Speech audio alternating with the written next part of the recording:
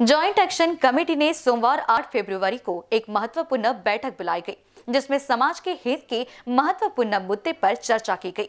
भारत सरकार के नए बजट में जो ट्रांसपोर्ट व ट्रक इंडस्ट्रीज़ के संदर्भ में निर्णय लिया गया है, वह पूर्ण रूप से एक तरफा निर्णय है, जो एक प्रकार से नए भ्रष्टाचार को जन्म दे सकता है। जैसा कि किसी गाड़ी का रास्ते में ईबे बिल समय के अभाव से खत्म हो गया है जो कि ड्राइवर को मालूम नहीं होता। अगर उस समय गाड़ी पकड़ी जाती है तो उसमें उसके माल के अनुसार सौ गुना ज़्यादा का जुर्माना लगाया जाता है। लेकिन अगर किसी भी हाईवे पर या परिवहन चेक पोस्ट आरटीओ के माध्यम से गाड़ी को अवैध रूप से वसूली लेने के लिए कई घंटे तक रोका जाता है, जिससे गाड़ी का काफ़ी समय का नुकसान होता है, जिसकी जवाबदारी उन प्रशासनिक अधिकारियों की होती है।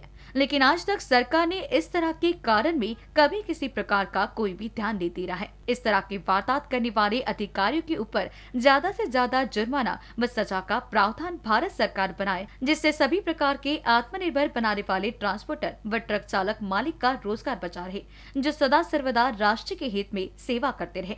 ऐसी मांग ज्वाइंट एक्शन कमेटी ने की।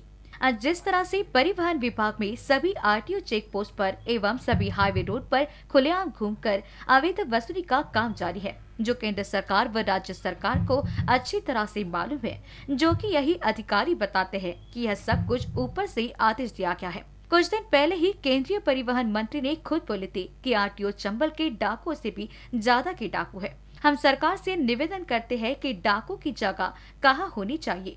सरकार उनको वहाँ पहुँचाए, तभी परिवहन माफिया को खत्म करना संभव है। नहीं तो आए दिन किसान की तरह सभी जगहों पर धरना प्रदर्शन आंदोलन होने की संभावना बढ़ सकती है।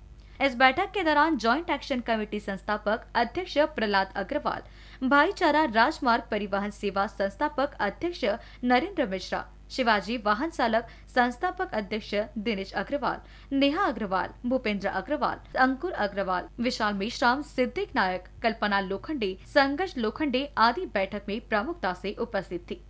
बीसीएन न्यूज़ के लिए वाड़ी से सौरभ पाटिल की रिपोर्ट।